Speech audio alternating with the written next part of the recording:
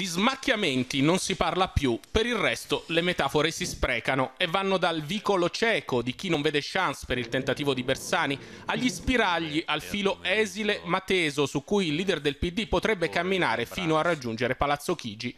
L'incontro clou, quello in cui tutto si chiarirà, è quello con Napolitano, probabile già domani, anche se c'è chi affaccia l'ipotesi di uno slittamento a venerdì o addirittura dopo Pasqua. Sarebbe un segnale che, sbarrato il canale con i 5 Stelle, con il centro-destra destra invece si continua a parlare perché un accordo è possibile. Si marcia sul doppio binario lanciato dai democratici. Da una parte un governo con personalità di spicco guidato da Bersani che al Senato avrebbe la possibilità di ottenere la fiducia grazie ad escamotage parlamentari che però sottintendono un via libera politico della coalizione guidata da Berlusconi.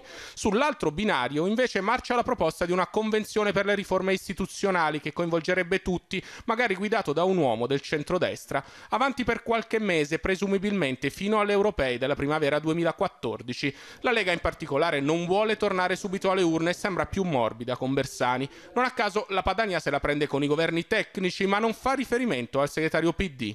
Per il PDL invece è decisiva la partita del Quirinale. Vuole una personalità di area moderata con un profilo garantista, visto che la giustizia è, ancor più in queste settimane, un nervo espostissimo per il Cavaliere. A sinistra per ora si vuole tenere fuori il capitolo delle trattative sul colle, ma è chiaro che senza un ragionamento complessivo non si va da nessuna parte. Prima comunque Bersani dovrà passare da Napolitano, che venerdì scorso è stato chiaro, l'incarico è teso a verificare l'esistenza di un sostegno parlamentare certo e non c'è metafora che tenga tenga, altrimenti Bersani passerà la mano e il capo dello Stato proverà a fare quel che chiamano un governo del presidente. Certo una nuova soluzione tecnica sembra meno appetibile dopo la bufera sul caso Marò, ma sarà difficile per i democratici dire no a un premier mandato in Parlamento direttamente da Napolitano. L'unica alternativa è il voto in estate, esito che in molti, moltissimi non vogliono dentro le neo insediate Camere. Marco Di Fonso, Sky TG24.